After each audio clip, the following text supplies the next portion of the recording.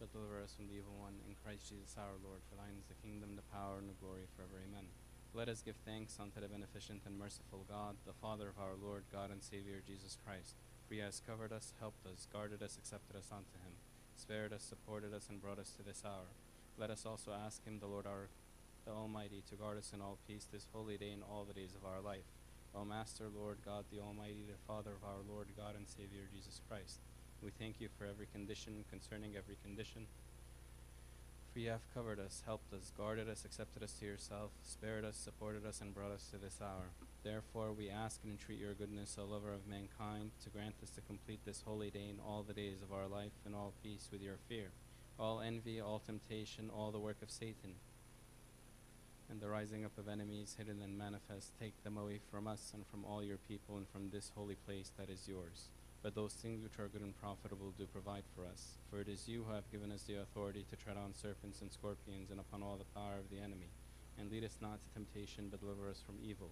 By the grace, compassion, and love of mankind, of your only begotten Son, God and Savior Jesus Christ, through whom the glory, the honor, the dominion, the adoration are due unto you, with him and the Holy Spirit, the life giver, who is of one essence with you, now and at all times, unto the ages of all ages. Amen. Have mercy upon me, O God, according to your great mercy.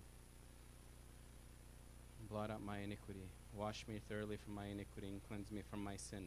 For I am conscious of my iniquity, and my sin is at all times before me. Against you only I have sinned and done evil before you. You are judged. For behold, I was conceived in iniquities, and in sins my mother conceived me. For behold, you have loved the truth, you have manifested to me the hidden, unrevealed things of your wisdom. Ye shall sprinkle me with your hyssop, and I shall be purified. Ye shall wash me, and I shall be made whiter than snow. Ye shall make me to hear gladness and joy, the humble bone shall rejoice. Turn away your face from my sins, and blot out all my iniquities. Create in me a clean heart, O God, and a right spirit in my inward parts. Do not cast me away from your presence. Give me the joy of your salvation, uphold me with a directing spirit. Then I shall teach transgressors your ways, and the ungodly man shall turn to you. Deliver me from blood, O God, the God of my salvation, and my tongue shall rejoice in your righteousness. O Lord, you shall open my lips, and my mouth shall declare your praise.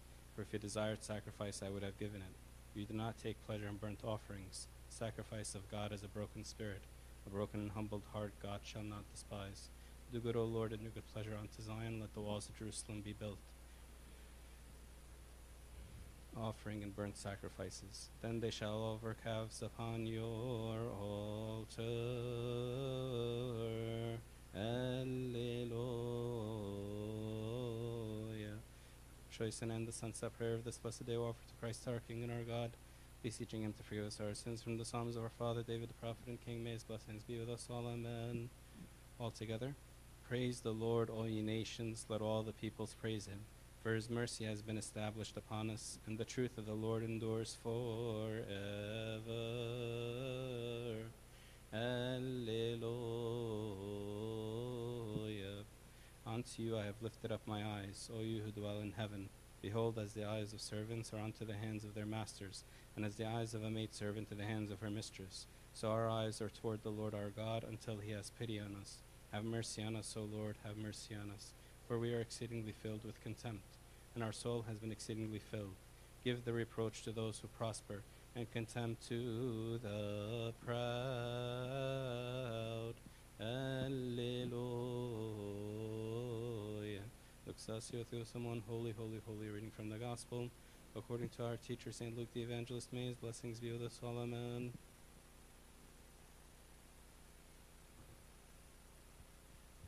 And he arose out of the synagogue and entered Simon's house, and Simon's wife mother was taken with a grief fever. So they requested him concerning her, and stood over her and rebuked the fever, and left her. And immediately she arose and served them.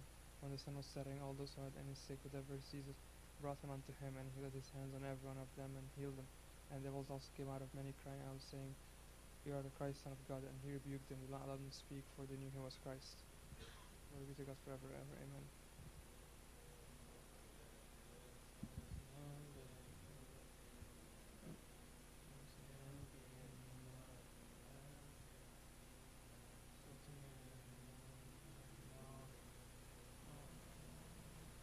If the righteous one is sacredly saved, scarcely saved, where shall I, the sinner, appear?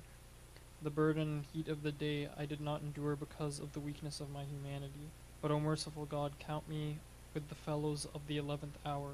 For behold, in iniquities as it was conceived, and in sins my mother bore me. Therefore I do not da- dare to lift up my eyes to heaven, but rather I rely on the abundance of your mercy and love for mankind, crying out and saying, God forgive me a sinner and have mercy on me.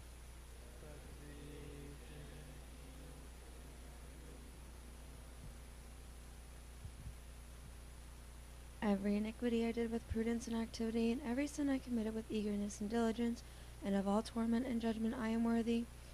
Therefore prepare for me the ways of repentance, O Lady the Virgin. For to you I appeal, and through you I seek intercession. Upon you I call to help me, lest I may be put to shame. And when the soul, my soul departs my body, attend to me, and defeat the conspiracy of the enemies. Shut the gates of Hades, lest they might swallow my soul. O you blameless bride of the true bridegroom. We'll say the second one together. Hasten, O Savior, to open to me the fatherly bosoms, for I wasted my life in pleasures and lusts, and the day has passed by me and vanished. Therefore now I rely on the richness of your never-ending compassion. So then do not forsake a submissive heart which is in need of your mercy. For unto you I cry, O Lord, humbly. Father, I have sinned against heaven and before you, and I am no longer worthy to be called your son, so make me as one of your hired servants. O Lord, hear us, have mercy on us, and forgive us our sins. Amen. Kyrie eleison, Kyrie eleison, Kyrie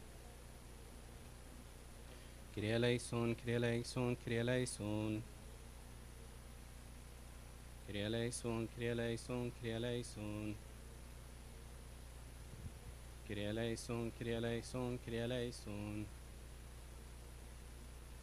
Kyrie eleison, Kyrie eleison, Kyrie eleison.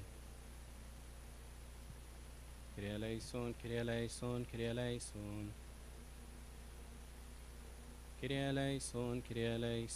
eleison. Holy, holy, holy Lord of hosts, heaven and earth are full of your glory and honor. Have mercy on us, O God, the Father, the Almighty. The Holy Trinity, have mercy on us. O Lord God of hosts, be with us. We have no helper nor hardships and tribulations but you. Absolve, forgive, and remit, O God, our transgressions, those which we have committed willingly and those which we have committed unwillingly, those which we have committed knowingly and those which we have committed unknowingly, the hidden and manifest. O Lord, forgive us for the sake of your holy name. Let it be according to your mercy, O Lord, and not according to our sins. O Lord, make us worthy to pray thankfully. Our Father, who art in heaven, hallowed be thy name. Thy kingdom come, thy will be done, on earth as it is in heaven. Give us this day our daily bread. Forgive us our trespasses. And lead us not to temptation, but deliver us from the evil one. In Christ Jesus our Lord, for thine is the kingdom, the power, and the glory forever. Amen. We thank you, our compassionate King, for you have granted us to pass this day in peace, and brought us to the evening thankfully, and made us worthy to behold daylight until evening. Lord, accept our glorification which is offered now, and save us from the trickeries of the adversary, and abolish all the snares which are set against us. Grant us in this coming night peace without pain or anxiety or unrest or illusion, so that we may pass it in peace and chastity, and rise up for praises and prayers and thus at all times and everywhere we glorify your holy name together with the Father who is incomprehensible, and the Holy Spirit, the life giver, who is in one essence with you, now and at all times unto the ages of all ages. Amen.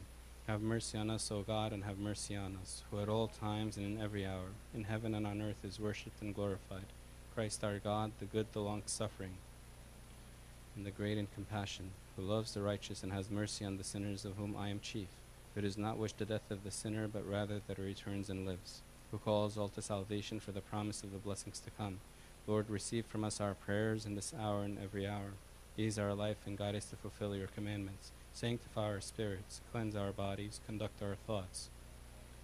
Heal our diseases, forgive our sins, deliver us from every evil grief and distress of heart. Surround us by your holy angels, that by their camp we may be guarded and guided, and attain the unity of faith and the knowledge of your imperceptible and infinite glory. For you are blessed forever. Amen. O Lord, hear us as we pray thankfully. Our Father who art in heaven, thy kingdom come, thy will be done, on earth as it is in heaven. Give us this day our daily bread, and forgive us our trespasses, as we forgive those who trespass against us. And lead us not to temptation, but deliver us from the evil one. Christ Jesus our Lord, for thine is the kingdom, the power, and the glory forever. Amen. If you're sitting in the back, come to the front, please. And if you're standing in the back, come to the front.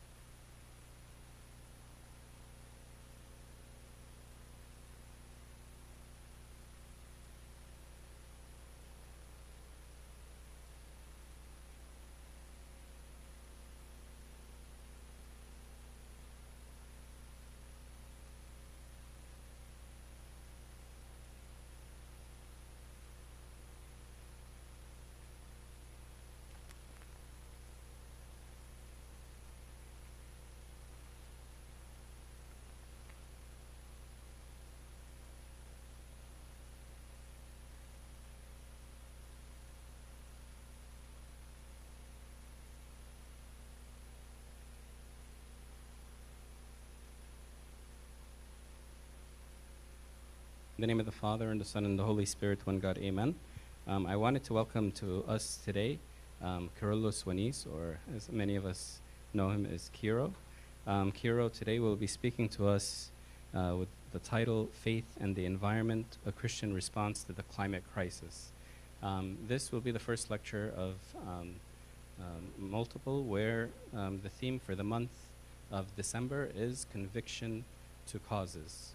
Um, as you know, in December, a lot of organizations reach out for um, end of year donations.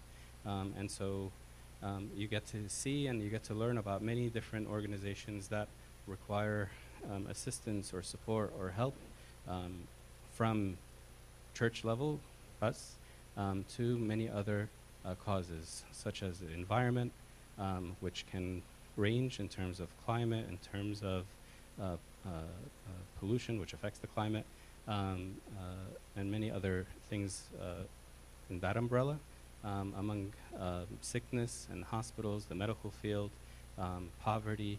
I mean, there are many different causes that um, we as a people can support. Um, and so it's good to be aware and it's good to be educated in terms of these backgrounds. So I wanted to again welcome Kyro. Kyro, uh, Kyro's background um, is he's uh, he was a major in politics, um, and also he um, right now is uh, getting his master's from Columbia University um, with international in international development. He's very passionate about about this topic, not just uh, in regards to the environment, but many uh, social aspects of of of society. Um, and so, uh, Kyro, in my opinion, is the best person for us to talk to when it comes to uh, these topics. So again, welcome, Kyro. Thank you for your passion, and we can't wait to hear from you.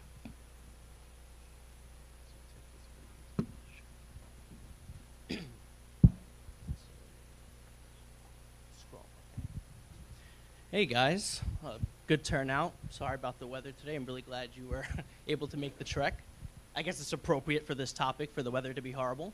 I was trying to think on my way here, how am I going to make that joke? And nothing really came to mind, so I guess that was good enough, right? I heard a few chuckles, so there we go. That's a good start.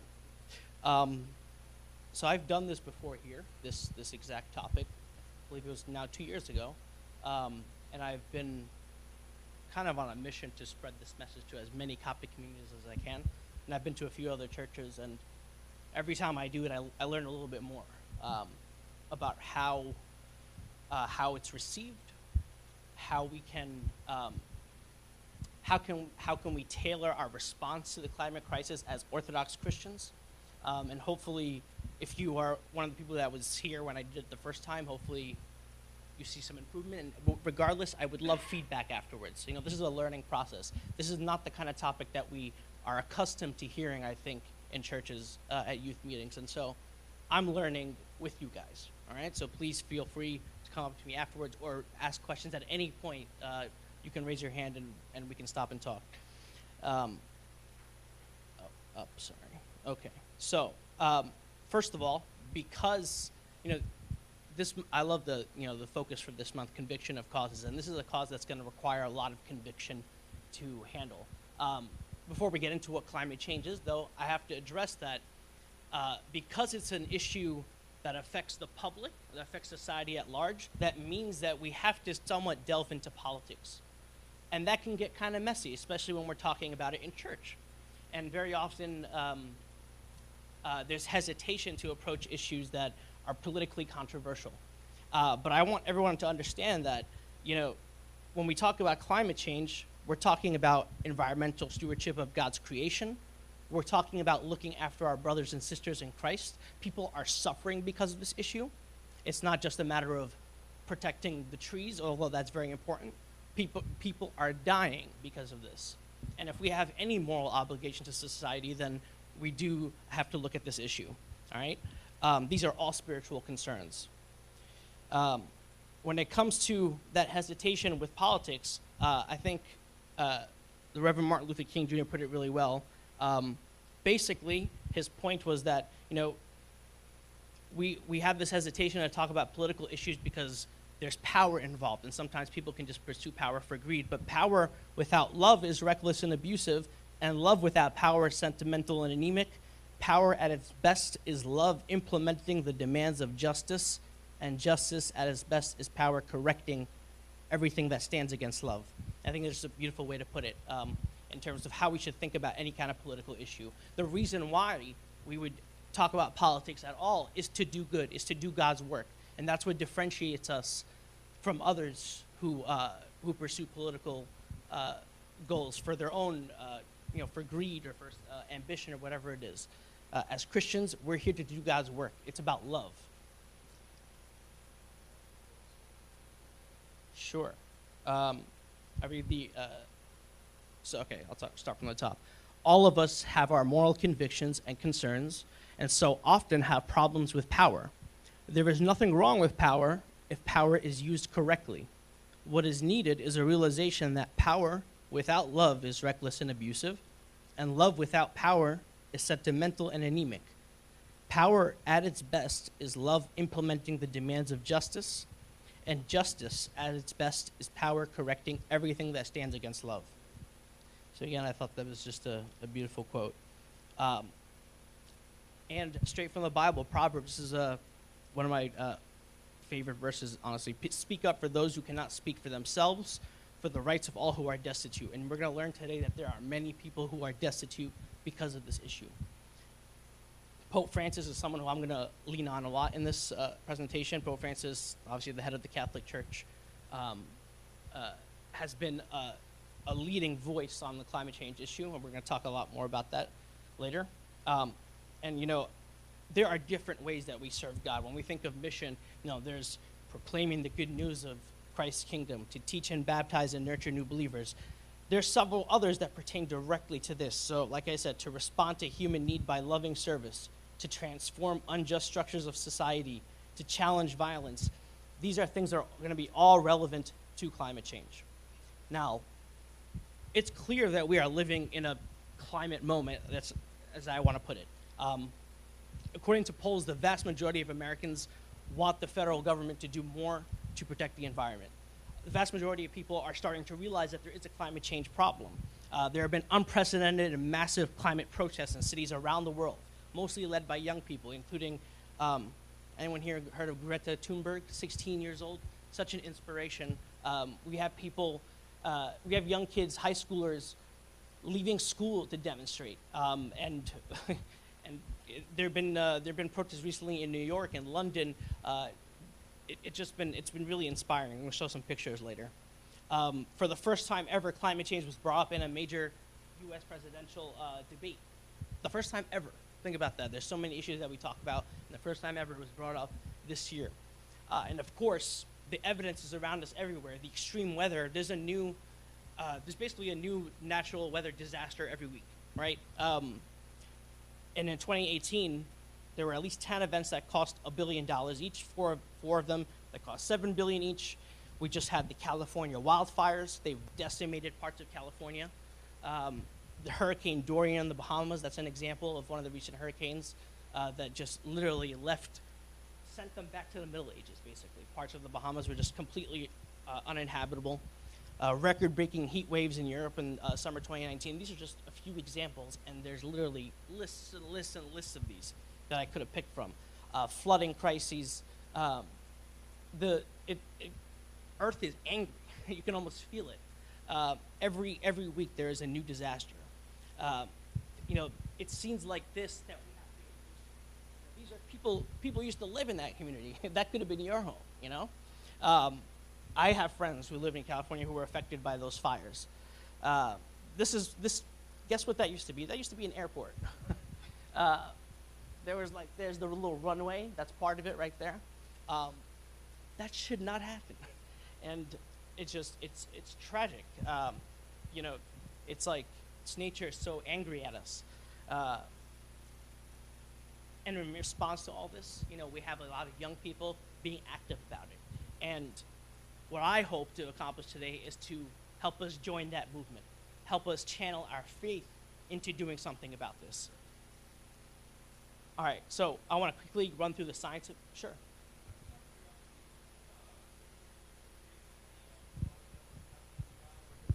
Hundred years ago. Great question. Um, He's gonna repeat it because Y- y- people y- streaming. Uh, the difference between the frequency of disasters happening now, like California wildfire now, and let's say like 100 years ago. Good question. So I was about to get into the science. You beat me to it. So climate change does not cause uh, extreme weather or natural disasters. But what it does is that it makes them not only more frequent, but much more severe. And that's what we're dealing with now. Um, all those things that I mentioned the heat waves, the flooding, the hurricanes, the typhoons, the tsunamis, the earthquakes these things have always occurred, but they are occurring much more now with much more frequency and with much more intensity.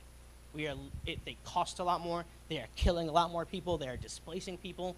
Um, we're going to get into all the effects of this stuff, but that's the difference. Um, and really quickly, just to explain what climate change is, on a very basic level, when we burn greenhouse gases, mostly coal, oil, gas, um, that leads to increased, increased levels of carbon dioxide that are released into the atmosphere. Um, and what it, what it does, it has something called the, green, uh, the greenhouse gas effect. It, it gets trapped in the atmosphere and basically uh, the planet just keeps getting warmer and warmer. Um, and one of the things that happens is that the Arctic, which is full of ice, starts to melt. And when, and when it melts, the, uh, the waters rise, uh, you know, all the oceans rise. And where do most people live? By the coast, in coastal cities. Um, believe it or not, but in our lifetimes, there are going to be whole island nations that won't exist anymore. They're going to be underwater because of global warming. Um, just to put some numbers around it, scientists measure global warming by the rise in temperature relative to pre-industrial levels. So you can, so sometimes you might hear, oh, we, we went up by a degree, we want to limit it to 1.5. Basically, we've already increased by one degree Celsius. There is a major agreement between all the nations of the world, except the United States now, um, called the Paris Agreement, uh, to limit the rise to 1.5 degrees Celsius, but we're on track right now for four. And I'm going to explain how disastrous that would be to the world and how large parts of the world will literally be uninhabitable. We will not be able to sustain a large portion of our population if we get to four degrees, if we even get to two degrees. Um, so that's just the numbers that I, uh, I wanted to mention. I don't know why it's cut off at the bottom there, but um, there's also just environmental degradation uh, in general. Even without climate change, there's air pollution, water pollution. Um, anyone here live near Newark? Newark, New Jersey? Have you heard about the lead uh, poisoning crisis there? Um, so in Flint, Michigan, and now New York, New, uh, New York, New Jersey, and a few other cities, there's been major crises where um, there's been lead poisoning seeping into the wells and into the into the water infrastructure. Um, literally, the mayor was on a, a, street corner handing out bottles of water in New York a few weeks ago. Uh, so that's one of the things that's been in the news. Um, I want to stress this is a politically controversial issue, but it shouldn't be. If we just listen to the scientists, 97% of climate scientists are in agreement. Climate change is real, and it's caused by us, not nature. This is not a normal thing, you know, that's going to pass. It's caused by us. Unfortunately, um, most Americans are starting to understand that. At least seven out of 10 believe climate change is happening. 58% understand it is mostly human caused, but obviously there's a lot of people that don't. Um, and the next slide is I want to explain why it's so controversial. This is a crisis that's driven by greed. Okay, the, uh, I, I, I really love this quote, of Timothy 6.10, For the love of money is the root of all evil, which while some coveted after, they have erred from the faith and, pre- and pierced themselves through with many sorrows. And that other first quote kind of sums the whole thing up. The, the way we got into this mess is basically a disregard for human suffering in the pursuit of profit. All right? These, so, anyone uh, know the story of uh, ExxonMobil uh, in the 70s and, no? Okay. so Exxon, ExxonMobil, which is one of the largest corporations in the world, obviously one of the largest oil companies in the world, was at the forefront of climate science in the 70s. They were working with the government to study this issue. We, back then, we didn't know that there was going to be this crisis. Um, and basically, uh, if, you, if you search the hashtag Exxon Knew, there's been this whole uh, investigation that's uncovered that Exxon knew exactly what would happen if we continued burning our energy supplies, our oil, our gas, and coal at the rates that we were doing, what would happen if we released all that carbon dioxide. And instead of, you know, warning the government, trying to switch to uh, alternative energy and, and other solutions that we're going to talk about, they funded decades of climate denial advertising and lobbied against climate legislation. And lots of companies follow the same playbook. Chevron, Shell, all these different corporations um, basically did not care at all about what they were doing to the planet, about the, the species that were going extinct because of them, uh, the global warming, the, the, the extreme weather that we've talked about. And they've made trillions of dollars in the process. Um, this is a very greed oriented issue. Um, just 100 companies are responsible for 71% of all global emissions.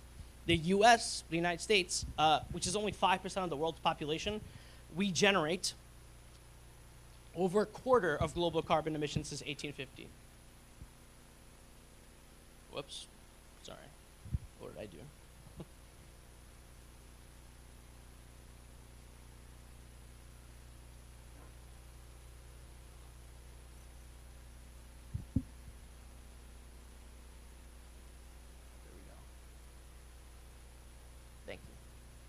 All right. Um, and basically, though the rich have, are responsible for this, it's the poor that suffer the most, which makes this such an important Christian issue.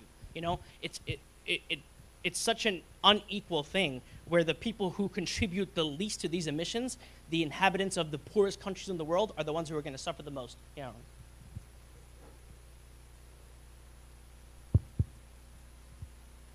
Okay. I, I like what you're saying that uh, like it's our responsibility, but since we were created, since like men men were created, um, it's our job to look for resources. People used to go from one place to another, take the resources. It's it's done. They're just like used to go to a different place, and until we start finding water and start our, uh, uh, like start planting and like start start settling and building and stuff. So resources always like you always seek resources. I understand your point. Now it's uh, it's now the resources leads to disaster, natural disaster, but um, still like technology, uh, it's going. It's, it's like we have technology right, right now, and this is this is part of it. Like you have to use whatever you have for resources in order to develop. Um, I think the problem is not to stop. I think the, the, the, the question is what to do in order to find other things or other solutions to uh, reduce the pollution, not to stop whatever we're do doing right now.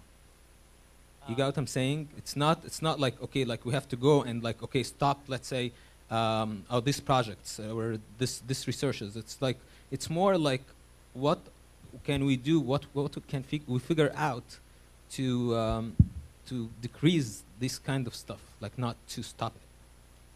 Um, I think I understand what you're saying. Uh, of course, there's going to be a major role for science and technology to play in terms of innovation. How do we, uh, you know, produce renewable energy? How do we, um, you know, promote conservation and sustainable development? All this stuff, and I'm going to get to some of that. Um, in terms of resources, though, I want to stress from a Christian perspective, God didn't just create the world for us to take.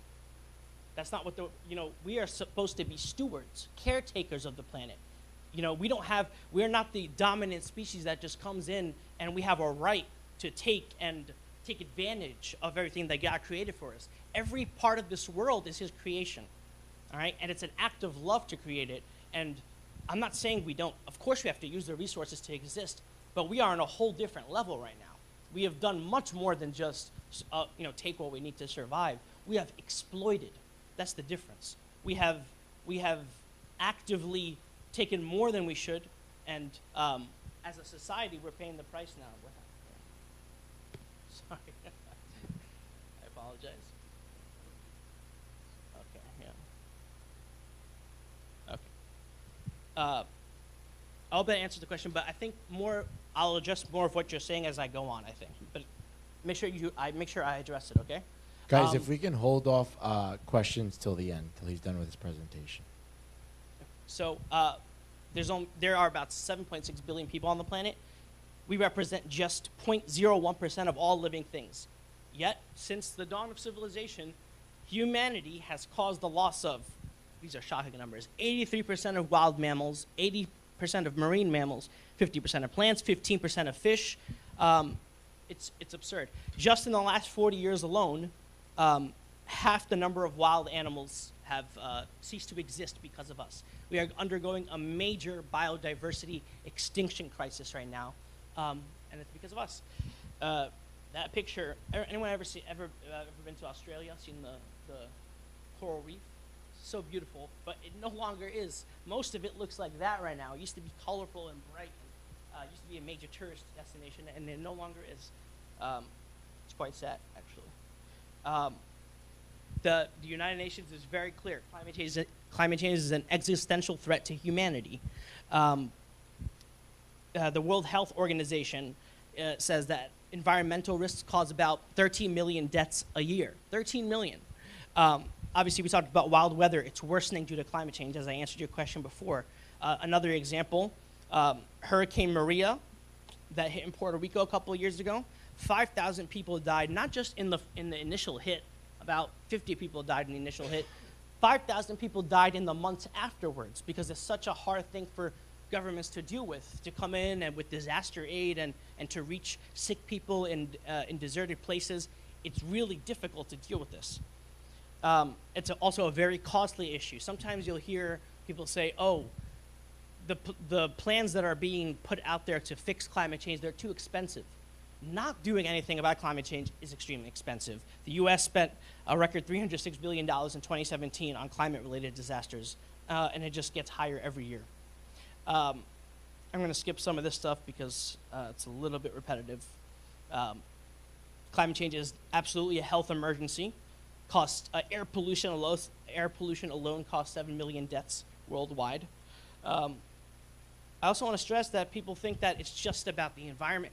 Climate change affects every other issue. And I think Abuna touched about touched upon this in the beginning when he was introducing me. Um, you care about immigration, whether you want to build the wall or you want to take care of refugees. Climate change makes it worse. How? Well, first of all, think about a hurricane leaving people, tens of thousands of people homeless. Where do they go? They have to go somewhere and, and they become displaced. Um, and the IOM, which is the International Organization for Migration, it projects that the impacts of climate change could displace up to 200 million people by the year 2050. That's 25 times the population of New York City are going to be have, are going to have lost their homes because of the weather and are going to need to go somewhere. They're going to be refugees, and many of them are going to want to come here. Um, agriculture. Many people are going to starve because of climate change. Uh, climate change could result in global crop yield losses of 30% by 2080.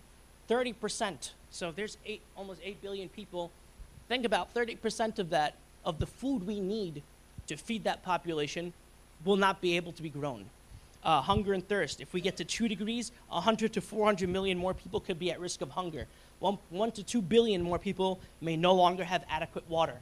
Anyone know what's going on in Egypt with the Nile River right now? And Ethiopia? So Ethiopia is trying to build. Everyone, I used to think when I was growing up that the Nile River was all ours. it's just it was just in Egypt. It's not just in Egypt. it, it extends throughout Africa. Ethiopia is building a dam, honestly, and they have the right to. Uh, huh? But this, this dam is going to make a big difference in terms of the water supply that gets to Egypt. Anyway, this is just one example. My point is, there's going to be many more conflicts over resources because of this. Egypt is a country that relies tremendously on the Nile. It's one of our few good natural resources. The rest of the land is mostly desert. Um, and the Nile is drying up. It's getting, and we also don't take care of it. It's very polluted. And so there's, every country has a different set of problems that are going to be related to this. It's going to look different for every country, but it's going to be disasters for all of them. Um, there are reports that say that Egypt at least 90% of the land will be uninhabitable by the year 2100. When I say uninhabitable, I mean people cannot live there. It's too hot to live there. There won't be access to water. Already, parts of Egypt are like that, you know. So, um, and and there are many other examples like this. Racism, uh, believe it or not. I, so, a lot of the effects of ecological hazards and climate disasters have the harshest effects on people of color, native tribes, uh, and low-income people. All right, it's the, the most disadvantaged people in society are the ones that suffer the most from this issue. Um, I don't know why the public health part is cut out, but uh, every medical association has put out so many reports recently this year in the United States saying that we have this is a public health emergency.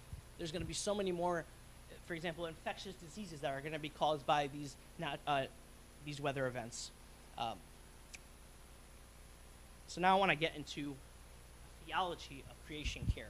Uh, how do we care for creation? How do we think about this as Christians? You know, what is our responsibility to God's creation now that we know that there's this disaster, this crisis going on um, that is that is hurting His creation?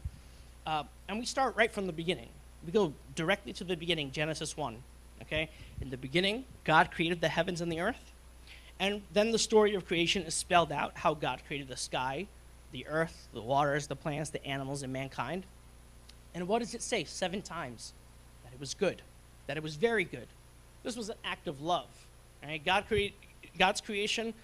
This, you know, I can't stress enough. Um, ha, you know, we are indebted to Him for this. Uh, the story of creation is so important, though, that even after it's it's spelled out in Genesis one, it's repeated again in chapter two. Uh, verse four says, "This is the account of the heavens and the earth when they were created, when the Lord God made the earth and the heavens." And again, it briefly spells out how plants, waters, and humans were created. Um, so it's a special emphasis that's placed on it right in the very beginning of the Bible. And then, to me, the most important part, and then God gives human beings the role in relation to creation. What does he say?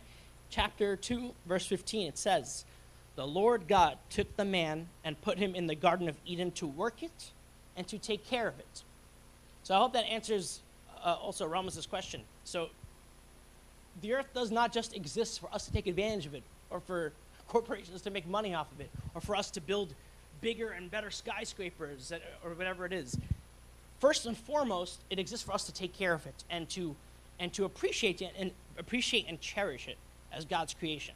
All right? There's a piece of God in everything that he has created, including every single one of us. And when every act of environmental destruction is an act violence against God himself, and that's how we have to think about it. All right? Our, ro- our role is to work and take care of it. That is the first commandment in the Bible is, that God gave us is to care for his creation. All right? And that's something to keep in mind. Um, there are so many Bible verses that I could touch upon. Um, there's this organization called Green Faith, one word. Um, you can look it up. Uh, it's an interfaith organization. It has lists from every faith, uh, you know, not just Christianity, and every denomination within Christianity, um, teachings, documents. Um, it's just it's a great resource to look up uh, all kinds of religious teachings on taking care of uh, the climate. Um, all right, remember that you are dust, and to dust you shall return. Um, you are called to care for creation, not only as responsible citizens, citizens, but as followers of Christ. That's Pope Francis. Again, I, I'm going to lean on him heavily throughout this presentation. Um, uh, another leading figure, uh, religious figure, uh, when it comes to climate change, is uh, the Patriarch Bartholomew of the Eastern Orthodox Church. Uh, I believe it's called the he's the ecumenical patriarch. Is that correct? Uh, so he's another leading figure. Him and Pope Francis are probably the, the most vocal of religious figures when it comes to climate change. And, and, I, and I love this quote here. You know, it's not just about how we interact with nature. Does anyone want to help me read, do some reading? Bernardo, so you since you have a mic. There are no two ways of looking at either the world or God. There is no distinction between human welfare and concern for ecological preservation. The way we relate to nature as creation reflects directly the way we believe in God as creator of all things. The sacredness with which we handle the, na- the natural environment clearly mirrors the sacredness that we reserve for the divine. So I, I, I love that. Um, kind of sums up what was, uh, the point I was trying to make there. Uh, you know, we can't separate these things. You know, we think we can. We want to compartmentalize it, um, and it's okay if you haven't thought about this issue before. But, like, as the Pope, uh, as the Patriarch Bartholomew you put it, uh, the sacredness with which we handle the natural environment clearly mirrors the sacredness that we reserve for God Himself. Okay. Um, how am I doing on time? Okay. A little bit more uh, to just emphasize, uh, you know, biblical narrative about how we should think about uh, this issue. Um, in Matthew 25, 31 through 46, uh, Jesus reminds us that whenever we care for those who are hungry, thirsty, naked, or imprisoned, we care for Him. You know, what you do unto others, uh, it's as if you have done to Him. We are called to care for the least of these. Climate change is creating a reality where there are more people than ever who are hungry, thirsty, and homeless. Right, you can't separate these issues from that. Um, there are ecological implications from the, the environmental crisis for every part of these verses. All right, I was hungry. Climate. We talked about how climate change impacts where food is grown um, and how much food have. More people will go hungry. I was thirsty. There will be pollution of water systems that's already happening. Increased drought will make finding access to clean water much more difficult. I was homeless. Many people will be, will be displaced by uh, natural weather events, extreme weather. Um, it's already happening, uh, even here in the United States. Uh, again, all, all of this affects people every day right now. Uh, so Laudato Si, in 2015, Pope Francis published this uh, really kind of seminal work uh, as far as uh, faith and climate change. Um, and he really drives home the point that you cannot separate this issue from taking care of the poor and social justice, right? As Christians, you know, we have to think of this. Uh, he's made sure that the spiritual perspective is now an important part of the environmental discussion. Now, when there's UN talks going on, there's, there's UN uh, climate conferences every year, there are big religious delegations that are sent from all the different churches and, and uh, Islamic groups and Jewish groups and Buddhist and Hindu and interfaith groups and atheists. It's, it's a major collaboration. Um, and Pope Francis had made, has made sure to emphasize to all Christians that our role in this is to make sure that the poorest, the people who are hurt the most, are taken care of. Just as Jesus did when he was here. On, you know, he always looked to the people who are the worst off. And that, and that is the message of this book that uh, Pope Francis published a few years back. Um, when this was published, it was published right before that Paris Agreement that I mentioned, and it was said that this had a big role in uh, pushing some of the hesitant countries to sign the agreement. Uh, so it was a major achievement, and so and so it's just an example of faith actually, you know, working with governments to do some good. Okay, um, mentioned a lot of the, some of this stuff already. So uh, this is basically the, the end. We're going to talk about. I'm just going to talk about some of the things we can do now, um, and I know there's going to be questions after this. So this is this is a massive problem, a huge issue with so much to it. I could not cover anywhere near uh, you know a comprehensive uh, review of all of it. Um, but based on what I what I've said today, I hope you have uh, enough of a perspective to uh, to at least take some of these actions in your life. Okay, first of all, you know we pray for a lot of different things. Prayer is a big, big and important part of our lives. Pray for this issue too. Pray for the planet. It matters, of course it does. And we actually we have lines in our in the liturgy uh, related to the environment that we pray um, every Sunday. Uh, pay attention to those. Um, we passed September 1st already, which is the World Day of Prayer for the Care of Creation. Um, the first week of April is also a major interfaith climate change week, um, and uh, it's, it's, it's a time for prayer and, um, and demonstrations and such, and it'll be all over the news and stuff. Um, it makes a difference even just to sign petitions and pledges. Get, make, put your voice out there. Social media. Um, you know, online you could you can just literally Google the Laudato Si pledge. You can sign that Pope Francis's pledge, and there's instructions of things you can do to contribute. Um, we talked about fundraising. Of course, there's there's you, there's definitely a need for money for this uh, for this kind of work. Uh, Pope Francis's global climate movement. Um, literally, if you Google if you Google uh, that, you will you will find it, um, and you'll be able to sign his petition and participate in this in this movement. Um, the Paris Pledge as well is not just for governments, it's for congregations and individuals.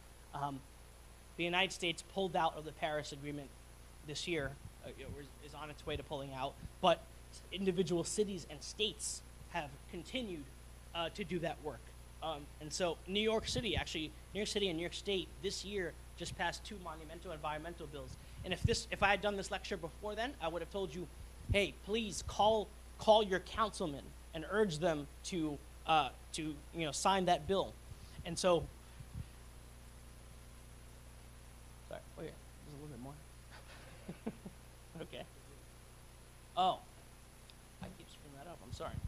Uh, and so, uh, as far as um, legislation goes, okay, there's there's always something you can do um, you should always be aware of who your representation is um, in, at every level of government. Okay? Uh, I used to work for a congressman, and I can tell you, just calling the person that represents you and saying, "Oh, I'm concerned about this. Oh, can you vote for? Can you vote yes on this bill?" Uh, or writing a letter or an email makes a big difference. They tally that up, and then they tell the congressman, "Hey," or the congresswoman, "Hey, uh, we got this many calls about this issue today," and they seriously take that into account into their decision making. It actually makes a big difference. Right, every single one of you can put in your address into on every level, on the federal level, find out who your senators and your and your representative in, uh, in the House of Representative is. At the state level, who your state senator and assemblyman is. Uh, at the city level, if you're living in New York City, who your councilman is. Of course, you know your mayor, your governor. All these different officials are people that are supposed to work for you, and you're supposed to have a say in how they govern. Okay, and so whenever there's one of these uh, bills that's up for uh, a debate, uh, you know, legislation that's being considered, it makes an enormous difference for citizens to express uh, their concern. It really does. Um, there, so, on a more individual level, uh, or as a as a congregation, there's a movement uh, of churches trying to uh, develop their own renewable energy sources, trying to run on solar. Um, it's called Green. Uh, so Green Faith is behind this too. You can get certified, uh, where you know a team of engineers will come and examine your building and make sure that um, and, and and figure out if we can uh, become carbon neutral in, in how in how the building uses energy. Actually, the, the number one source of emissions, carbon emissions in New York City, is buildings. I mean, it makes sense. There's buildings everywhere in New York. Um, anyone here have investments? 401k, anything like that. If you have investments, all right, there's a good chance if you if you if you you know if you're not aware of exactly where all that money is, if it's just invested in the stock market, there's a good chance that that money is invested in fossil fuel companies, companies like ExxonMobil and others that are benefiting from the destruction of the planet. Um, and there's a huge movement, it's called the divestment movement, to divest money from fossil fuel, uh, from fossil fuel energy and reinvest it in clean energy. Um, and this is this has been a movement that's spread throughout. Uh, is anyone here in college, grad school, or uh, undergrad?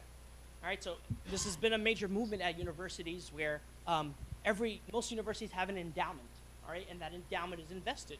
Uh, and there's been a major movement at, uh, at, at, at so many. There's been hundreds of them now, where uh, students have managed to convince their board of trustees to divest their endowments from investing in fossil fuel companies and invest in clean energy instead.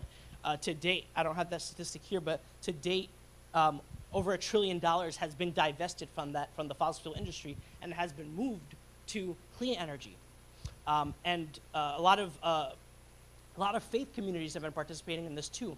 Um, I, don't, I don't know if uh, you know the, the Coptic Church operates, the Coptic Orthodox Church operates that way in terms of its financials, but I know that many other Christian denominations have major endowments of their, of their own, and there's been a major movement to divest those endowments from from these from these uh, uh, bad things. There's something at the end here that I don't have. Oh, um, so when you go to websites like Green Faith and other interfaith websites on the climate change, they'll give you resources of, you know, every denomination will have some literature about climate change.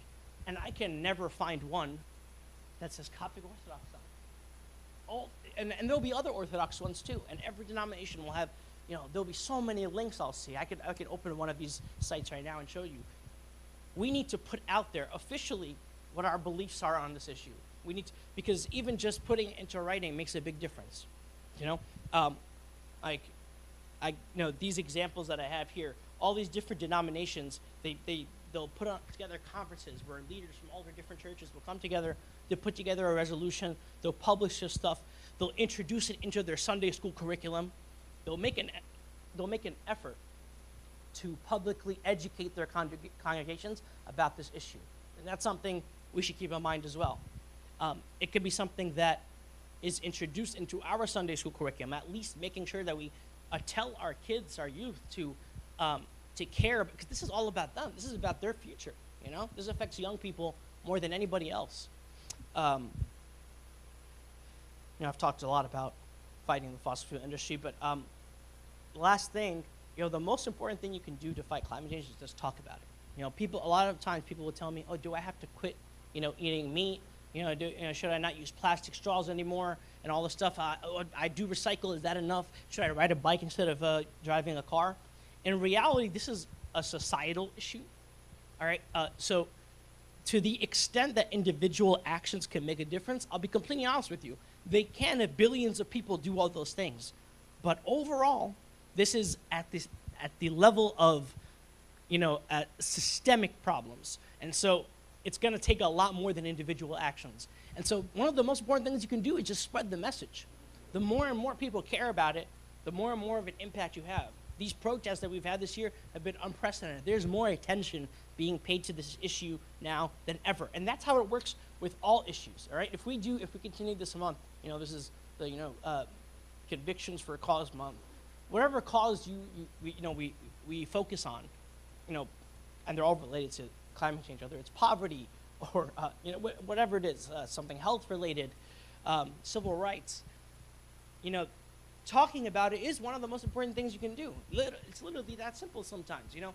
Just spreading awareness, okay, is a form of advocacy, okay. And so, um, I appreciate you taking the time and coming through the weather to listen to that.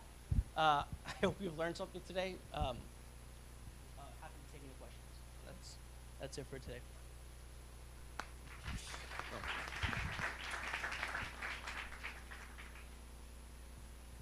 Yeah. Uh, oh.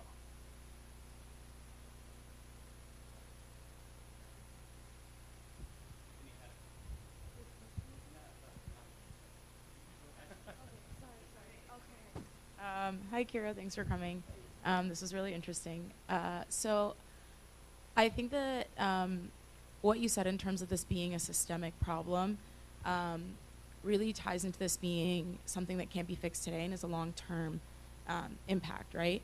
So, given that there's other things, uh, crises going on, there's hunger, there's poverty, um, mental health, there's all these other things that are happening in the world today.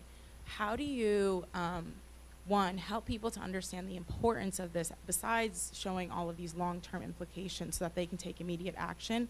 How do you reconcile something like saying, okay, well, I would rather, um, you know, uh, look, cure, like, po- not cure poverty, but um, help to reduce poverty, or I'd rather aid in hunger first because they don't see the immediate impact of, you know, writing to a policy, um, writing to, uh, sorry, a politician for policy.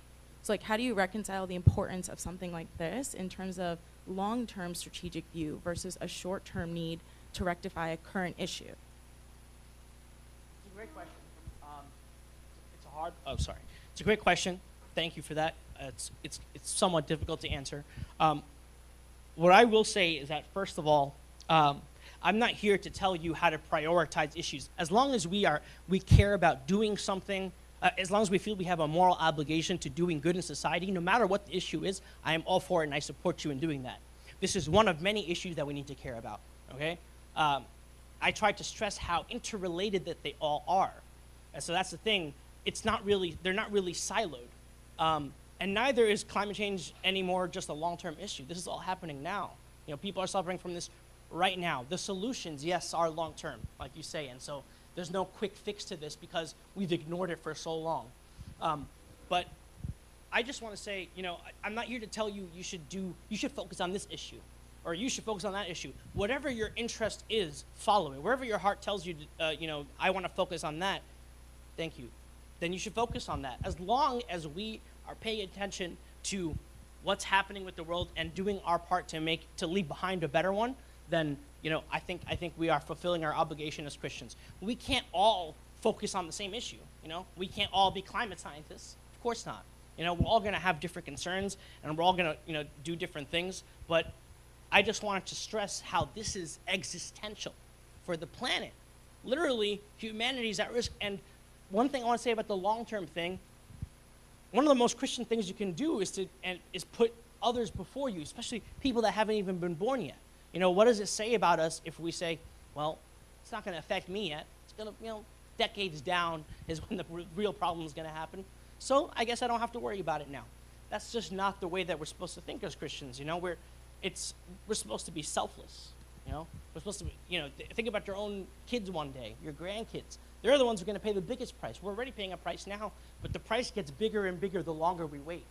And so we have an obligation to deal with it now. We've been that are you know the argument to wait and to not feel the the pain right now you know it's, it's a problem for down the road has been used by fossil fuel companies actually to make us ignore this stuff. And it's a lot of faith communities now that are coming and saying stop no more. We are going to care for creation today. We can't let this happen to our planet. We can't let future generations suffer. Um, does that answer all of your question okay. Welcome. Thank you for that. It's a very good question Yeah, I just wanted to say that, like, hello, Kyro. It's not just the fossil fuel industry that we need to worry about because, like, as you were saying about plastics and the ocean and all that stuff, all of these industries they put they push the blame and responsibility onto us, saying recycle, do this, do that, whereas they are continuing to be the cause of the issue to begin with. Me and you, and like, even if like a hundred thousand people were to recycle ev- everything, is not going to change anything if we don't stop the source, which are these multi-billion dollar companies, which are producing and pushing all these products and all of this waste upon us. You're absolutely right. Uh, I didn't have, you know, this is one presentation. Like I said, there's so much I could have gotten to. You're absolutely right. It's not just that industry. Um, the world economy functions on a system called capitalism. You know, it's basically uh, every man for yourself, make as much money as you can. That is the, the global economy works on that principle. All right, the U.S. leads in that manner, and there are many industries that uh, have damaged the planet, have have done all kinds of damage. Um, name an issue, name a problem in the world, and I will tell you the industry behind it. Any problem, there is somebody making money behind it. That's just how this world works, unfortunately. Um, and and that's why I, I, I use that verse from the Bible. The uh, what, what was it? The Timothy one. Uh, I think I missed it earlier.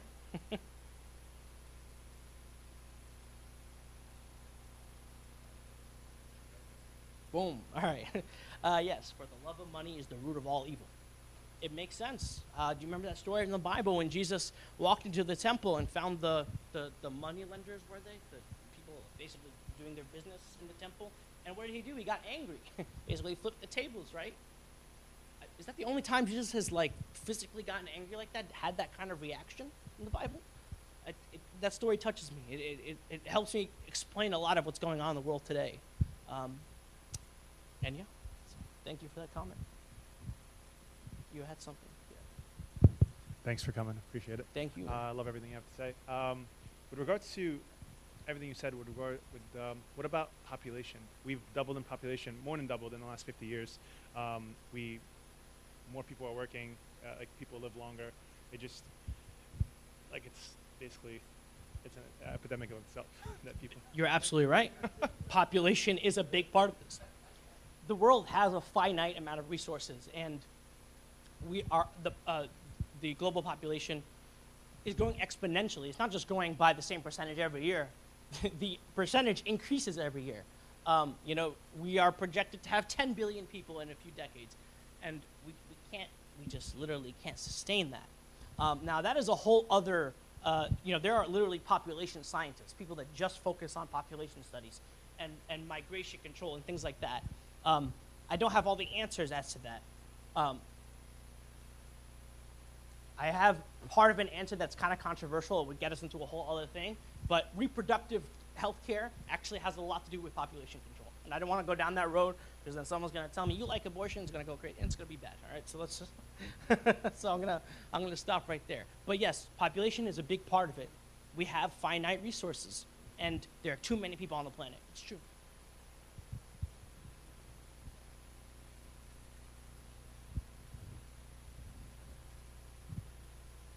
So you touched on two obstacles um, to fighting climate change. One of them was hashtag Exxon Knew, which is basically them spreading misinformation for decades, and the other was money. And those two things are interrelated in in the sense that a lot of the countries that have the biggest issue with climate change are the poorest countries of the world. And um, the both the, the governments of those countries and the businesses there because the country overall is poor they're going to look for the cheapest solution to maintain and develop their infrastructure, even if that solution is harmful long term. I think you touched upon it. It's a, in their minds, it's a short term solution, and they have to think in short terms instead of long term risk. And so, how do we combat both that way of thinking in terms of the misinformation and the fact that and the money issue, which essentially it's the it's the poor that suffer, but at the same time you understand when those countries are as poor as they are, you you get why they're doing what they're doing. Of course. No, that's a, that's a great point. Um, you know, we've had annual. Uh, so the the UN's been doing these climate talks annually for decades, and we've gotten nowhere precisely because of this. Because every country is at a different economic level, they have different needs, and the way the poor countries see it, they're not even responsible for this. I mean, like I said, the U.S. five percent of the population, a quarter of the emissions. You know, it's the rich countries that are most responsible for this, the poor ones that are suffering the most. And not to mention that as human beings, we're just not programmed to think in terms of the long term. Obviously, it's whatever's directly in front of us that we react to most strongly. Now, how do we deal with that? Well, first of all, I will say that we had a solution. The Paris Agreement was historic. In 2015, this was the first time that every country in the world, 197 countries, signed on to the same agreement and we had set levels and everything. And what's happening now, unfortunately, is that those misinformation campaigns over decades, all right, have I don't know how to say this without getting into controversial politics in this country, but one half of this country is, is basically in league with the corporations and and you know exploiting this climate denial movement for political gain. Um, and that's the Republican Party. There's no other way to say it. I have to I have to just it's the truth. Um, Donald Trump pulled us out of the Paris Agreement. He says that climate change is a hoax created by the Chinese. That's his famous quote. He doesn't believe his own scientists when they publish studies. Literally, scientists from every agency of the United States will put out studies, and he says, "I don't believe them." His own his own people. Um, you know, there's there is no shortage of reports talking about this and combating the misinformation. If we don't listen to the scientists, then there's not not much else we can do. I mean, you know, we just have to I think I think in terms of addressing that, how do we how do we deal with um, the poor countries part of it? Um, you know, I think we just always have to focus on doing our part. You know, I, I, I can't answer for uh, you know how much sacrifice every person has to make. All I know is that as Christians, we have to be leaders on this. You know, us, you know, we have to do our part. We have to make sure that you know we are sacrificing as much as we can. All right, and then and, and have to we have to put faith in God that He'll He'll help us take it the rest of the way. I hope that's good enough answer. I know it's a it's a it's a good question. Thank you. Um, yeah. Or yeah. Uh, for for this point, I didn't even think it's very important until I saw that the church and uh, made all of these articles and books and all of this about it.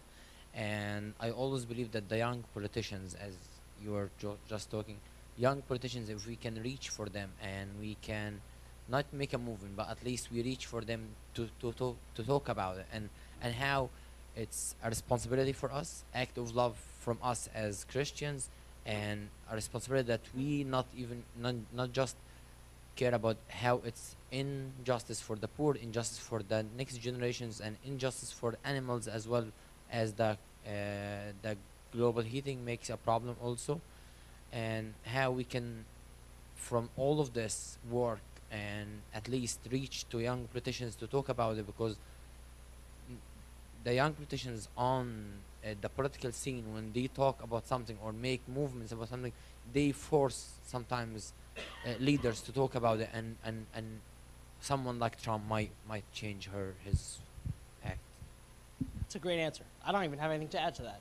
I, I should have said that from the beginning. The, the focus should be on young people. It's always young people that are the drivers of change, major change in society. It's always young people. And those and they're the people that are out in the streets right now. They're the ones who are pushing politicians to care about this kind of thing. And that's across political lines, right? So this, you know, the the uh, resistance to doing something about this is usually at the level of the politicians and the leadership and the CEOs and stuff. But on the grassroots level, that's where the energy is. That's where we're going to make the most progress. Talking to young people, lifting up the voices of the people who are going to be affected the most by this. So that was a great answer. Thank you. Uh, I, I should have mentioned that from the beginning. Fo- the focus should always be on young people like us. We are the future. So um, that's how you that's how you deal with the long-term problems. Most of the resistance, honestly, comes from people who are older. Um, they don't feel the urgency of it, and so thank you for that. Shakira, um, you remember there's a quote you just said about power and uh, love um, In the beginning, in the beginning. yeah. Um, when we were talking about poor poor countries and talking about the U.S. and you're saying uh, we have to start about we start about ourselves, but uh, I think if we start if you start by yourself, actually like you are in a chance of other countries like getting to be more powerful than you, and I think this is the problem because you need the resources to, to stay in power in power. You need to the industry to be going on to stay in power. You need the money to stay in power. All this, all this cannot happen by cutting down and sacrificing your power um, and starting by yourself. Uh, I understand, like you're saying, we start by ourselves, but like I think we're looking at a, a, country, not just uh, not just just individuals. You know, you got what I'm saying. Um, the country needs to be on top of the other countries, and that's how they think. Um, you can't just sacrifice that. You can't sacrifice the money. Are you saying that's how it is or how it should be? No, that's how it is right now. That's how it Okay. is. The industry, the, the, Yeah. how how the industry is going on right now.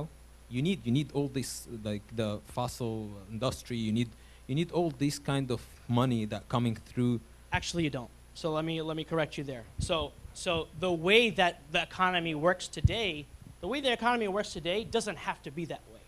It is it, it exists that way because people who made money invested into laws to make them more money. Like I'll And give you an example. Nuclear plants, let's say, Okay. and all and uh, like you know like uh, war industry, like all this stuff Yeah. affects affects global change. Like affects like climate. Yeah. And they're all Okay, bad. and all bad. But you need it. You need it to stand power. Like this. This is my point. You need all these kind of things that you're thinking. Uh, it might. Oh, if we sacrifice the on individual level, yes, I agree with you. But as a country, I don't think the United States can cut down a lot of these things uh, just because of the environment. I'm. I'm just like saying. So, we, I mean, so first of all, the United States is by far the wealthiest country in the world. We spend 10 times more than any other country. Any, the next five countries combined spend less than we do on our military. We, the power is not the issue. Th- The point is we focus too much on that. And we have to shift from that. You know, we, the, the U.S. is, is the center of materialistic gain in the world. You know, it's always been about power here. So there's no shortage of that. I, we need to change things. I'm sorry I interrupted you. Go ahead. Oh, yeah. I, as I was saying, like, we don't have to, we don't have to use those sources to keep our power because we have the technology and the resources to do it in a more ecological fashion. And because we are not going after those, China is now beating us. Russia is going to beat us. All these other countries are going to beat us to the punch because we decided to hold back and stick with the old route instead of trying to advance everything towards the new route. And not only that, I just want to say, guys, we are Christians. First and foremost, we are Christians, which means we care about the whole world. This is a global issue, you know? We can't speak about this in terms of American power must be sustained. Forget about that. You think, you think Christ cared about which country was going to be on top of the other? That should not be our concern. We are Christians. We need to care about every living person on this planet, regardless of what borders are drawn by politicians. Okay? Th- That, that is who we are first and foremost, and that's who I am speaking to you today as. Not just as an American. Yes, I want, we need to focus on the U.S. because that's where we are, and we are and we're citizens of this country. But this is a global issue, all right? And we need to put the well-being of every country, especially the poorest ones, you know, at, at, at least at the level of our own. All right, this is an this is an issue where everyone is inter, interdependent on each other, and so we cannot think of it in terms of who has power over who and maintaining, you know, uh, uh, maintaining our pos- our lofty position in the world. I understand that that's how it is, Ramas. It doesn't have to be that way, and there are many people in politics as well, many leaders who want to change that, who want who want who have a completely different way of thinking about how the world should be run, how foreign policy and economics should work. And so we need to, we need to support those kinds of thinking. Um, and I mean, there, there are, I, I don't want to get into specific candidates and stuff like that because we're in church and you know that's we don't need to go that far. But do research. There are plenty of people who are supporting a very different vision of how we should run the world. Okay? But a great question though. Thank you, Ram. I know I, I can't get it right. Loving these questions. Keep it coming. I can say it. All right, so a couple of things. So for a few points that have been made, on a local level, and you're looking at sub-Saharan Africa or third world, it's really not a comparison to what we do here. And I don't think what we say in this room is going to affect what they're doing in the ground because those people are doing it to survive, right? So a, an example of that is they need cooking oil. The majority of a lot of sub-Saharan African use palm oil, which in order to extract palm oil, you literally burn palm leaves, right? And the CO2 emissions from that is sky high as compared to squeezing olives and getting olive oil, right? But you're not gonna tell a man on the ground, no, don't do that. You can't, you can't do that. It's bad for the environment.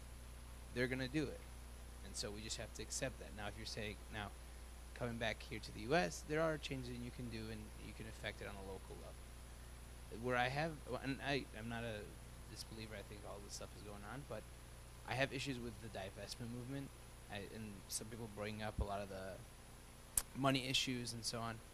You, I don't think as a person you say, "Oh, I'm divesting my 401k or 403b, therefore I've helped this environment." I don't think you can say that. Guess what? Somebody else is going to make that. It's going to take your stocks. These companies can go private.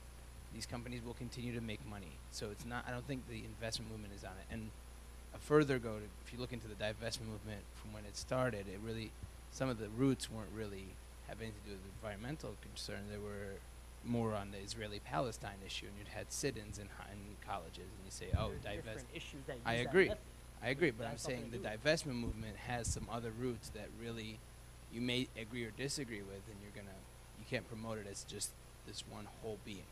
Um, so, really, if you really believe divestment works, I would like to see some results as to what that is. But telling people to divest out of their current investments out of these companies, you will be hard pressed to find one company in the entire stock exchange that even if they don't do anything, they don't have money in other companies or they don't rely on other companies who use fossil fuels, who use plastics, who use things that are greenhouse gas emitting.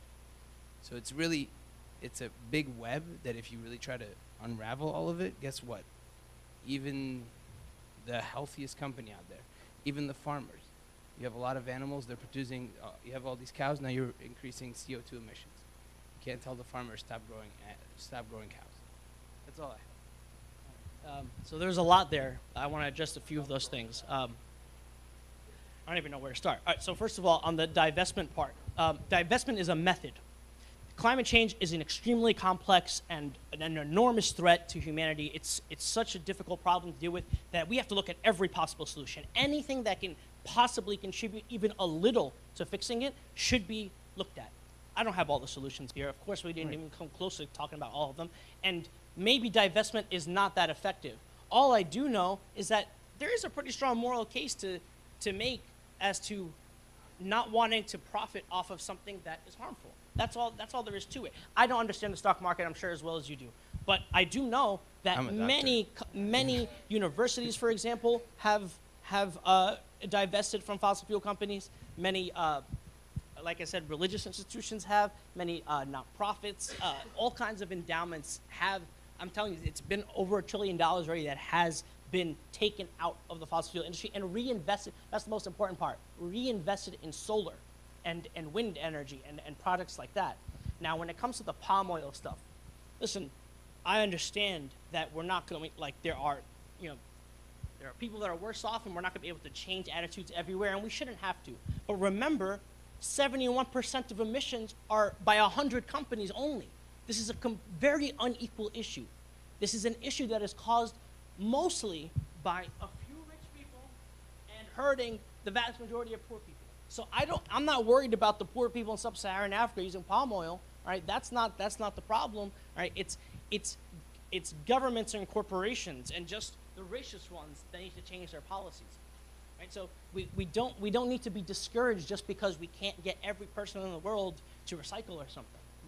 I don't think it's discouragement, but I don't think that only a few top people agree or want to burn fossil fuels. A- As you listed in all your statistics, it's not. You said only 59% of people believe that Yep. uh, current the current situation or is it, we're being affected by the environment and we're contributing to it. 40 the other 41% that's not 1% of America. That's 41%. So I'm saying Mhm. there are people out there who aren't in the top who do believe that using coal and spending ga- as mu- money on gasoline is okay. So I don't think it's for us to say, oh, we just have to target companies. Yeah, of course you can speak out and you can go to your representatives and you can take actions in your own green in your own CO2 carbon footprint, right? But again, even if you go invest into solar, those solar panels have to be made by something, right? Yeah. And those wind wind farms have to come out from somewhere. Mhm. There's a lot of energy that needs to be put into those things, Yes. right? And so, guess where those companies get their stuff from? Carbon producing companies. So, at the end of the day, we we are in a cycle, and I could say you say, well, you're shifting your energy from these future productions, and yeah, you're going to be able to do, you're going with the with a wind farm, you will rely less over time or on greenhouse gases, which is fine, but I don't think you could simply say we've taken out one trillion out of these people. That money went back into those companies. Somebody else put that one trillion back into those companies, correct? I'm not sure exactly how to answer, but how, how about this? Um, maybe I didn't do a good job of laying out all the solutions. Renewable energy is not the only thing. Um, for example, preserving rainforests is one of the number one things we can do to combat climate change. Because all those rainforests absorb the carbon dioxide and give us oxygen in return. That's a huge thing we can do. Agreed. Nature itself is designed to protect itself. And so you protect the animals and the trees and, and, and biodiversity, you, you save the planet in a way right there. So that, that part of it, the, economic transformation is going to be painful and difficult and long. And you're right. I, you know, don't have all the solutions. It's not going to be easy. The investment is not a clean process. It's, it's, it's really hard to make progress on that front. And, and you're right. I mean, capitalism has a way of just the money circles around. It's true. It's very hard to get to, to remove money from, from, from pe- people from profiting off of harmful things. But I want to point to something uh, like an example of successful divestment.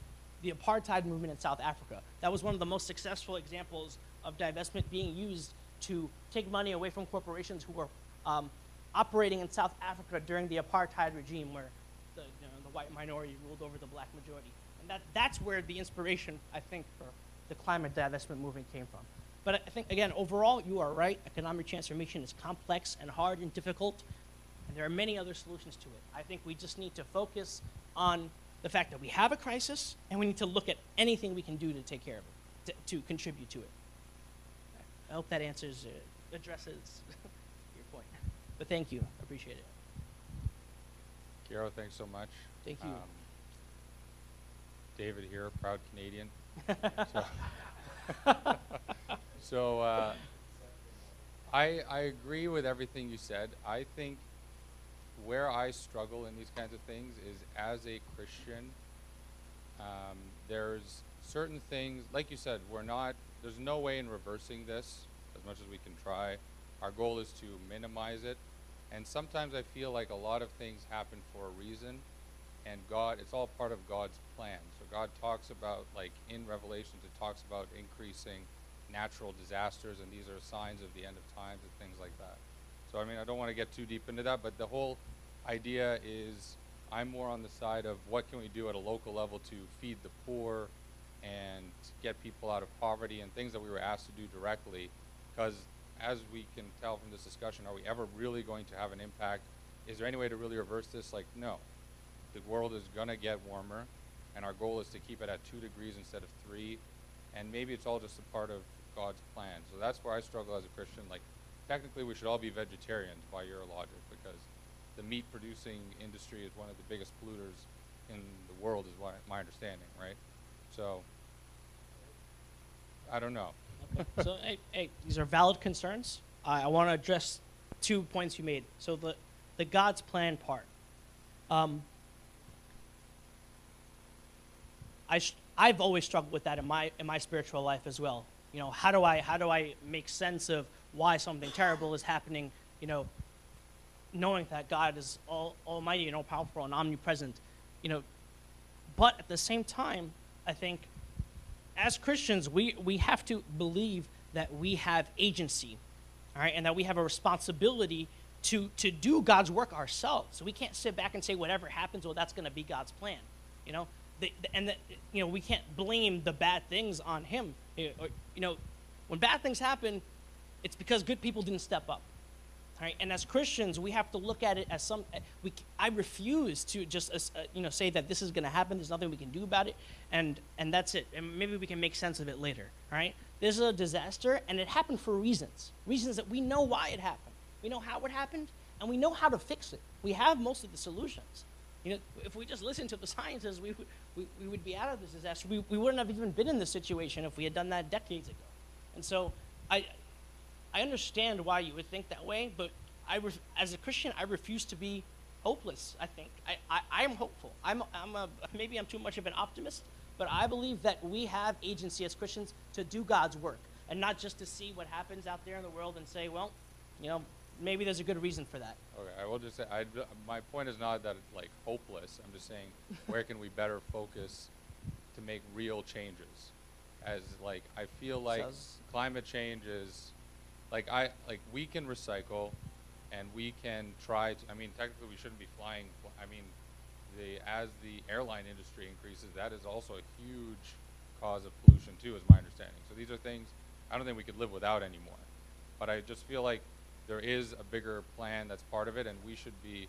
If I'm, if I'm going to spend a night, I sorry, I hate to play devil's advocate, but I'm, I'm instead of, you know, rallying my uh, congressman, um, if I can go feed feed the poor or go collect money or donate money that I'm I might be making off fossil fuel stocks, if I can donate that money to Africa or to Egypt or something else, I feel that's where I would personally be doing more on the, uh, you know, grassroots you're talking about. I am not telling you to not do any other good at all. That is absolutely not what I am saying. And in fact, if, if, if you come out of today and decide that you just want to focus your efforts on some other good thing, then I will be happy. This is one of many issues.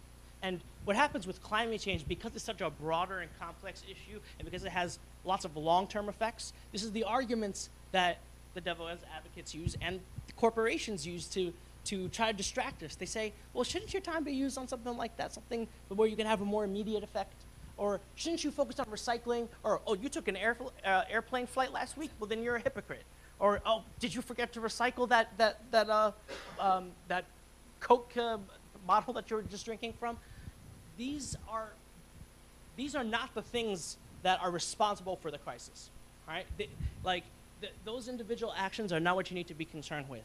The reason why I mentioned the Congress and, and, and you know and legislation is because it's going to take that level of uh, change at the societal level, policy, um, to actually make a difference here. We, we don't need to feel ashamed because of uh, you know these little actions that we take in our lives that are construed to damage the environment. They're not the most damaging things. Like I said, this is a very unequal issue. The vast majority of the world is not responsible for it. It's very few people that are. They're the ones that profit off of it. Does that answer most of your question? Sorry, I. Yeah, but also again, if climate change is not your issue, please go help the homeless. That that would be great. All right, Melissa, you had a question? Sorry, I sorry, I just have one here. And I'm coming to. you. Yes. Um, actually, as a Christian, we should never be like passive or hopeless or anything.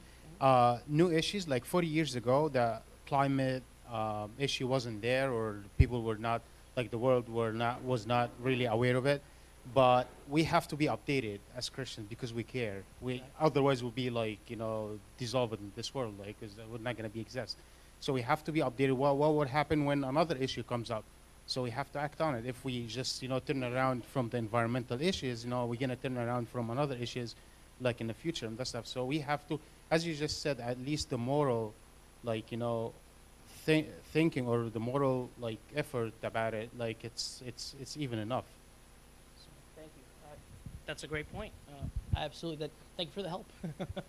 um, I, I understand concerns with how to deal with this issue. But yeah, we have a more responsibility to take it one step at a time. You know, just again, this is progress right here. Like I said, the most important thing you can do to combat climate change is to talk about it and spread awareness. And that's true of any issue, any cause that you have conviction to to support and to do something about. Spreading awareness makes a difference, especially in a democracy. You know, the more people care about something, the more of a difference it makes. It takes time, but that's how change happens. Okay? Oh, Melissa. Yeah, so I don't have a question as much as as a comment, just hearing what everyone's saying. I think, um, I think the the point, and and this is very relatable to to how we serve the homelessness. Are we going to eliminate homelessness when we go out to serve? No, we're not. So essentially, we're doing, we're taking our, we're doing our part and taking smaller steps to try to mitigate that circumstance. And I think what Kyro's saying is similar when it comes to, to climate change. These are things that go hand in hand, things that can be worked on. There are like tangible solutions that we can take and tangible actions that we can take to, uh, you know, sort of mitigate this, this situation. So, I mean, I'm never about the idea of, oh, well, what is my impact going to do? Like, no, it makes a difference. And if we think that way about everything in life, we're going to sit at home on our couches all day long and do nothing. So it's a dangerous thought, I think, personally. It's a dangerous road to go down that, well, what is my, what am I, what is my, you know, throwing my straw out or not using a straw, how, how is that going to be impactful? And it's, it's just dangerous to think that because we, we do that all the time. So I think, again, the point of Kyro's talk really is just that th- these things go hand in hand. So yes, you should be serving, um, doing local things, um, while at the same time really trying to petition and do to do bigger things as well that, that can impact um, uh, like in the, the climate issue on, on a larger scale. Thanks a lot, Melissa. That was, yeah, that helped drive the point I was trying to make home. Um, and again, th- this is not a topic that you finish talking about in one lecture, not by any means. You know, I could have had, I could have done this over a, a, a month, over a summer of, of bi-weekly uh, lessons where we would have talked about all the solutions in more depth. Um, but I, the broader point about how we approach this is very important. You have agency as, as, a, as a creation of Christ, as part of creation, having a piece of God in you, you have power. You have the ability to change things on this planet. All right? Especially because you're not alone. You have a church. We're all together here. It's not individual actions. We are a community. Communities make change. And so that should be a source of inspiration for you as well. Okay? Anybody else? Thank you guys so much for listening. Appreciate it.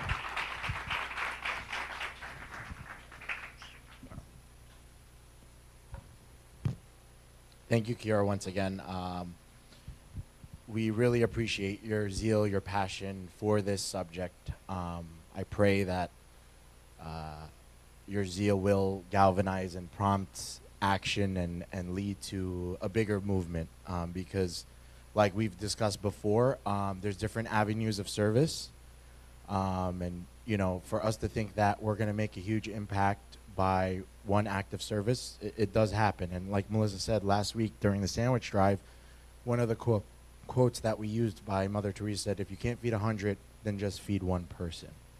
Um, so it's very important to uh, realize that one act of service, one act of service does make a huge difference. Um, also, there was a quote I wanted to share that brought home uh, a point. And you said, "A society grows great when old men plant trees whose shade they know they shall never sit in." So let that sit in. Uh, it's a Greek proverb, according to Google, but we don't know. Mark, you can uh, fact check that later. So, anyways, welcome. Happy Monday, everyone. Um, happy December. Like Abuna announced during the beginning, we are starting a new theme. It's called uh, Conviction to Causes. So, just like um, Kyro just did, you know, he had a true conviction and it's leading him for uh, a greater cause. So, that's going to be our theme for, uh, for this month. Uh, a few announcements. Every Can everyone see the announcements behind me? All right, perfect. Um, welcome. I want to say welcome to the new faces, our regular faces, and um, people we haven't seen in a while. I'm glad to see you guys. Um, welcome back. Um, it is act of ours, our practice of ours, that if you do see someone new or someone old, do uh, go introduce yourself, greet one another. Um, with a holy kiss if you'd like. I just went down that path. I didn't realize I did that. But anyways, and if you have any questions, my name is Menardos. I can help direct you to anything that you need. Um, so every Tuesday, the church is open for personal prayer from 3 to 6 p.m. So on your lunch break, if you'd like to come and say a personal prayer or just have alone time, quiet time, please take advantage of that. That's every Tuesday, 3 to 6 p.m. Uh, every Wednesday, we're going to have early liturgy at 6.30 a.m. during the Advent fast. So Wednesday at 6.30 a.m. before work, if you want to catch a blessing and a liturgy, it's 6.30 a.m. We try to finish around 8.45 so you can make it to work around 9. Um, also, every Thursday we have Bible study. The doors open at 7:15. We try to start by 7:30. Currently, we are doing um, the Gospel of Mark, chapter 4. We're still on chapter 4. Also, December 13 to 14. That's this upcoming Friday and Saturday. We have we are hosting the Mukattam Benefit Craft Sale. Um, for some of you that know and do, or those of you who don't know, uh, the Mokattam is an area in Egypt known as the Zabbaleen. So there are people and volunteers dedicated to this cause uh, for you know decades now. And what they do is they're selling goods and items that were produced by the women in the Zabbaleen, men and women, and it's all craft sale, and that's going to be available. Sorry, oh, just women. Sorry. um, also, very important exciting announcement. Saturday, December 21st is our third annual Christmas concert. It is being hosted in our home in this hall. Um, as you see, we're starting to prepare. Uh, we have some cool announcements in regards of performers. We have someone by the name of Joseph Tawadros, am I right? He's a famous oud player. He's coming all the way from the United Kingdom. He's going to come perform. Also, can I announce? Okay. We have two special guests. They're making a cameo. That is also um, Anba Angelos, also coming from the UK, who will come and grace us, and His Grace Bishop David, our diocese leader. He will come and be in attendance. So please sign up. I'll tell you exactly how to sign up after. Uh, Sunday, December 29th, we have a Bowery Mission service. It's a beautiful service, a beautiful um, that we do, that we partake in. Uh, it's going to be from 5.30 to 7.30 p.m. That's on Sunday, December 29. Um, so that's going to be a dinner service. If you have any questions, please um, speak to Sandy. Sandy, if you could raise your hand. It's limited space. So please, if you are interested in doing so, it's a beautiful service. We do it every so often. Um, and if you want to take the blessing, please speak to Sandy after the meeting so you can sign up for that. Also, January 24th to the 26th, we have our third annual SMSM Winter Retreat. The theme is Holy, Holy, Holy. First holy is H O L E Y, second holy W H O L L Y, and the third is H O L Y. As you can see, the progression, that is the theme. Um, that will be January 24th to the 26th more information to come on that in terms of who we are announcing, um, who's going to be speaking during the the uh, the retreat. So if you want to sign up for the annual Christmas concert and the SMSM Winter Retreat, uh, they are on Eventbrite. So if you want to go on Eventbrite, you could purchase it. But as an incentive, since those who are present tonight, I will have the Square um, set up, the iPad, and you could purchase these tickets tonight, um, and the incentive is you forego the Eventbrite Eventbrite fees, which could be a you know a little much. So if you guys want to forego those fees, we will have the square set up. You could sign up. Keep in mind, this place has a capacity, so keep that in mind if you want to sign up for the Christmas concert. That's going to sell out pretty fast. Also for the winter retreat, that also has a capacity and limit. And I would suggest signing up because if you guys come to us January 20th and tell me, Menardos, Abuna, I want to sign up, and we're at capacity, we have a waiting list, I, we can't help you. We want you guys to come, so we're trying to do everything we can to incentivize you to sign up as soon as possible. Um, you had a question?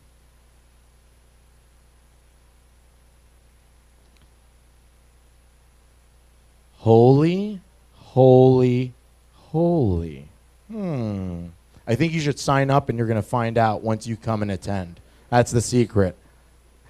Um, but we will we will share more context.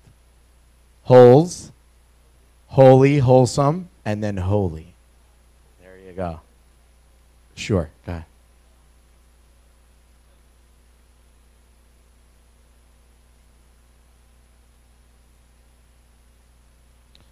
That's a good question that we'll address after. I think that's fine. That, that's a particular dilemma for you, but in general, I would encourage you guys to sign up as soon as possible because, like I said, there is capacity, and I know we as Egyptians or as youth, we love to uh, wait last minute.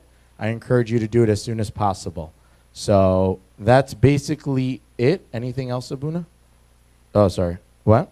Oh, guys, also, how can I forget? If you are not already doing this, please follow us on all our social media platforms. Our handle is SMSMNYC. We are on Twitter. We are on Instagram. We are on Facebook. We have our website. You could actually come up when you're done and just open up your camera and utilize the barcode. It'll scan it and it'll open up to um, all our social all, all our social media platforms. Also, something very important in light of the giving season. If some of you some of you have already seen this, we actually have a fundraiser um, Facebook page. So we're raising funds for the church. Um, there are no fees. Uh, it's through Facebook. Um, you could also use this barcode to go straight to the fundraising campaign. Um, so if you want to donate, we also have uh, easytithe.com. You could donate that way. Uh, you could do a one-time payment or recurring payment. Um, and we utilize Amazon Smile. Who here shops on Amazon? All right, don't lie. I know all of you shop. No, I'm just joking. So what they do is they use 0.05% of the proceeds of what you shop for towards a um, nonprofit that you choose. So please utilize that, especially now during Christmas time when we're going to do a lot of our online shopping. Um, so that's basically it for now. If you have any questions, you come speak to me after, um, and I can address any of your uh, issues or questions. So also, um, I don't know if you guys noticed, this is the first Monday that we're showcasing the brand new chairs that we've been funding, fundraising for for a while. So, um, round of applause. We got new chairs, guys. I hope you guys are feeling comfy. Um, they're beautiful, they're very nice, and we want to continue, obviously, improving um, everything that we have to serve you guys better. Oh, right. Okay. Also, another um, sneak peek for next week, next Monday. What we're going to have is we're going to have a special screening for the movie Noon. Uh, uh has anyone watched it before? It's on Amazon Prime.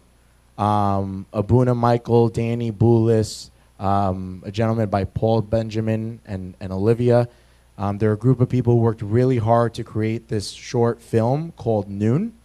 Um, so we would love to invite you guys and, and come next week, and we're going to have a screening here. So that should be very, very nice. So what we're going to do for right now, also really quickly before we stand up for prayer and end um, the service, is I'm going to need your help, guys, uh, just moving around chairs. So whoever's willing to volunteer, that would be greatly appreciated. And we want you to know that, you know, every week you know, that we have service. Those who volunteer, we greatly, greatly appreciate it. So we're very thankful for you guys.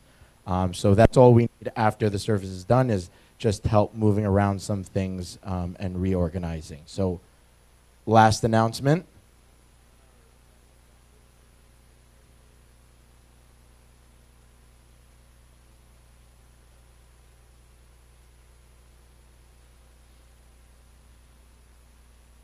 Okay. Okay, so the the Buna who's speaking at our retreat um, is requesting that we fill out a survey. It's just a few simple questions, um, and obviously he wants us to do that so we can prep, um, and he could serve us better uh, during the retreat. So we're gonna post that link on all social media platforms and the WhatsApp groups. Um, so be on the lookout for that. That's really important if you do plan on attending our um, winter retreat. Once again, after I'm going to have the square set up, please sign up to get your um, Christmas tickets, your Christmas uh, concert tickets, and your winter retreat tickets, okay? So we're going to stand up for prayer right now.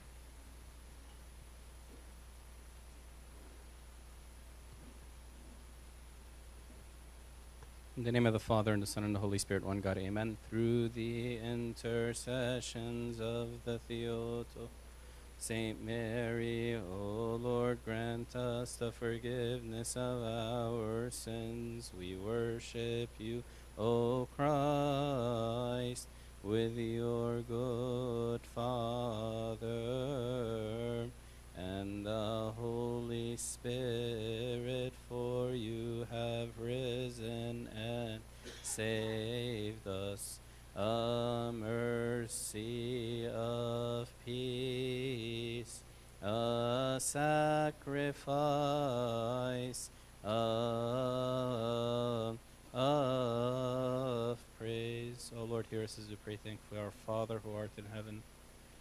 Thy kingdom come, thy will be done, on earth as it is in heaven. Give us this day our daily bread, and forgive us our trespasses, as we forgive those who trespass against us. Lead us not to temptation, but deliver us from the evil one. In Christ Jesus our Lord, for thine is the kingdom, the power, and the glory.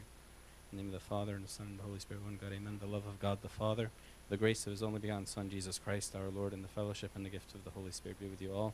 You may go in peace. The peace of the Lord be with you all.